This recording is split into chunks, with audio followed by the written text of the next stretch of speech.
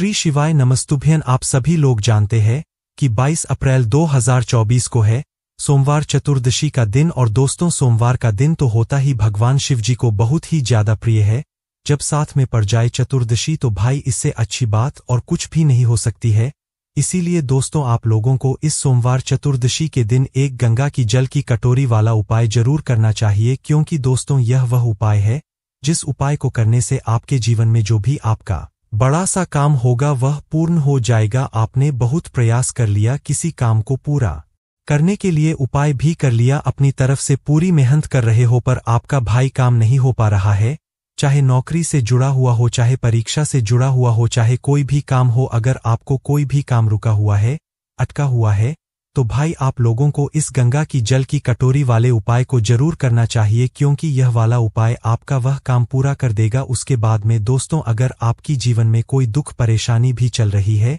और आप उससे छुटकारा पाना चाहते हैं तो आपके लिए यह वाला उपाय बहुत ही ज़्यादा मतलब लाभदायक हो सकता है।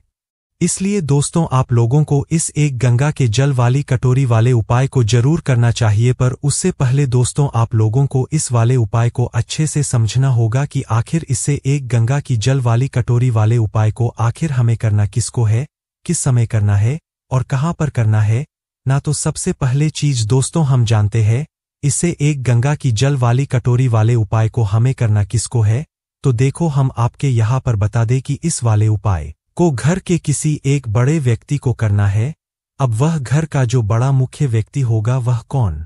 होगा तो देखो विशेष रूप से अगर आप पूछो तो घर की जो बड़ी माताएँ बहनें होगी उन बड़ी माता बहनों में से कोई भी एक माता बहन इस वाले उपाय को कर सकती घर में से सिर्फ़ और सिर्फ़ एक ही सदस्य को इस वाले उपाय को करना है। मुख्य रूप से जो बड़ी माता बहन होगी उन माता बहन में से कोई भी एक माता बहन इस वाले उपाय को कर सकती है। और अगर किसी कारणवश घर में जो माता बहनें होती है, वह उपस्थित ना हो या किसी कारणवश वह यह वाला उपाय न कर पा रही हो। सोमवार चतुर्दशी के दिन तो आप लोगों को क्या करना होगा कि भाई इस वाले उपाय को घर का कोई एक बड़ा सदस्य भी कर सकता है, चाहे वह पुरुष ही क्यों ना हो कोई भी दिक्कत वाली बात नहीं है। अब अगला जो सबसे बड़ा प्रश्न आता है कि इस वाले उपाय को आखिर हमें करना किस समय सुबह के समय करना है, कि शाम के समय प्रदोष काल में करना है तो देखो यहाँ पर हम आपको बता दे इस उपाय को जो करने का समय है, वह सुबह का समय है। सुबह कहने का मतलब है कि जितना जल्दी सुबह सुबह कर सकते, उतना जल्दी बाकी कर सकते हो, बाकी थोड़ा बहुत लेट भी हो।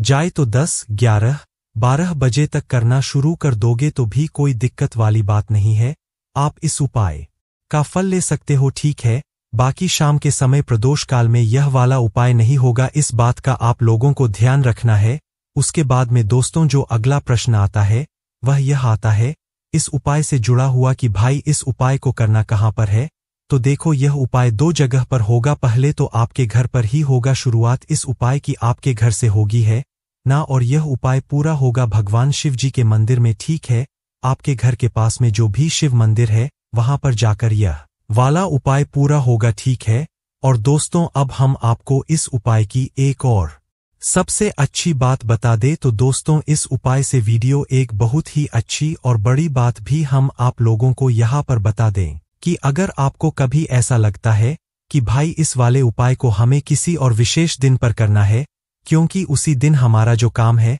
वह होने वाला है, कोई बड़ा काम है जिसमें आपको सफलता चाहिए पड़ेगी तो भाई आप लोग उस विशेष दिन पर भी इस वाले उपाय को कर सकते हो। मतलब किसी भी दिन जब आपको लगे कि हाँ भाई, इस दिन हमारा बड़ा काम होने वाला है और उसमें हमें सफलता चाहिए, इसमें हमें भगवान शिव जी का आशीर्वाद चाहिए तो उसे दिन भी आप लोग यह वाले उपाय को कर सकते हो। बाकी सोमवार चतुर्दशी का दिन है, यह बहुत ही ज़्यादा बड़ा और विशेष है। इसलिए आप लोगों को जो है, इस वाले उपाय को इस एक गंगा के जल वाली कटोरी वाले उपाय को समझा रहे हैं, ठीक है? तो दोस्तों हम समझते हैं कि इस वाले उपाय को आखिर आप लोगों को करना कैसे है, इस उपाय को करने की विधि क्या है? सबसे पहले चीज़ दोस्तों आप लोग थोड़ा नाम में ही समझो, एक गंगा की जल की कटोरी वाला उपाय मतलब कि एक कटोरी है, उसमें गंगाजल भरा हुआ है, उसी का यह वाला उपाय है तो सीधी सी बात है दोस्तों, उपाय के नाम में ही आप लोगों को समझ आ रहा होगा कि इसमें हमें गंगाजल की आवश्यकता पड़ेगी। कटोरी तो आप सभी लोगों के पास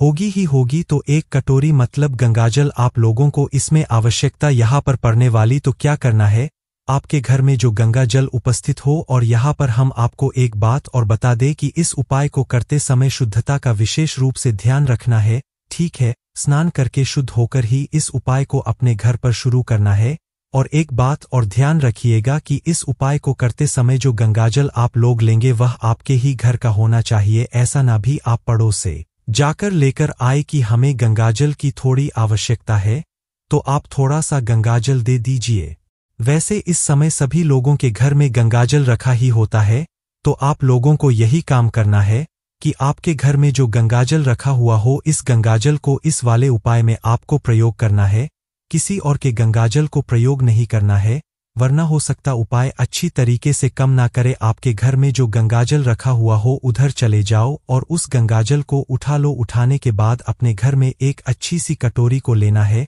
मीडियम साइज़ की एक छोटी सी जो कटोरी होती है, उसे लेना है, ना और शुद्ध वाली कटोरी लेना, अच्छी वाली जो भी आप लोग भगवान के कार्य में प्रयोग करते हैं, वह वाली कटोरी लेना है और कटोरी लेने के बाद क्या करना है? अपने उस गंगा के जल की जो भी बाटकी हो या बोतल हो, कुछ भी हो जिसमें अपने गंगाजल भर कर रखा हुआ हो, उसमें से अपनी कटोरी के अंदर गंगाजल भर लेना है। कितना गंगा जल भरोगे मतलब फुल कटोरी ले, फुल से थोड़ी सी कम हो, इतना गंगाजल जो है, आप लोग अपनी उस कटोरी के अंदर भर लो, भरकर आप लोग तैयार करके रख लेना, ठीक है? जैसी आप लोग जो है, इस कटोरी के अंदर गंगाजल भर लेते हो। भरने के बाद सुबह के समय ही आप लोगों को क्या करना है, कि अपने ही घर में जो रसोई घर है, ना मतलब जिससे आप किचन वगैरह कुछ कहते हो तो भाई जो आपके घर में रसोई घर है, उस रसोई घर में आप लोगों को चले जाना है, और रसोई घर में एक ऐसा स्थान आप लोगों के घर में ज़रूर होगा जहाँ पर आपका मटका पीने के पानी वाले स्थान होगा मतलब मटका रखा हुआ होगा जहाँ से आप लोग अपने पीने का पानी भरते हो तो भाई अपने घर के रसोई घर में आपको वहाँ पर चले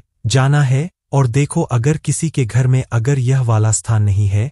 तो भाई आज ही बना लो क्योंकि यह आपके पितरों का स्थान होता है, इसलिए आपके घर में की रसोई घर में एक स्थान एक ऐसा स्थान ज़रूर होना चाहिए जहाँ पर मटका रखा हुआ हो उस जगह पर आप लोगों को जाना है, अपने गंगा की जल की कटोरी को लेकर जहाँ पर आपके घर के रसोई घर में पीने का पानी रखा हो या मटका रखा जाता हूँ या परिंदा रखा जाता है, ना उसे जगह पर जाकर दोस्तों क्या करना है अपनी गंगा की जल की कटोरी को वहाँ पर रख देना किसी भी अच्छी जगह पर वहीं पर देखकर, वहाँ पर आपको इस गंगा की जल की कटोरी को रख देना है। रखने के बाद दोस्तों, अब आप लोगों को क्या करना? एह, कि एक सिक्का लेकर आना है, ठीक है मतलब सिक्का चाहिए हमें नोट नहीं चाहिए, चाहे वह एक का सिक्का हो, चाहे वह दो का सिक्का हो, चाहे वह पाँच का सिक्का हो, चाहे वह दस रुपये का सिक्का हो तो आपको लेना सिक्का ही है। इस बात का ध्यान रखना है नोट नहीं लगेगा यहाँ पर इस उपाय में इस बात का भी आप लोगों को ध्यान रखना है तो करना क्या है?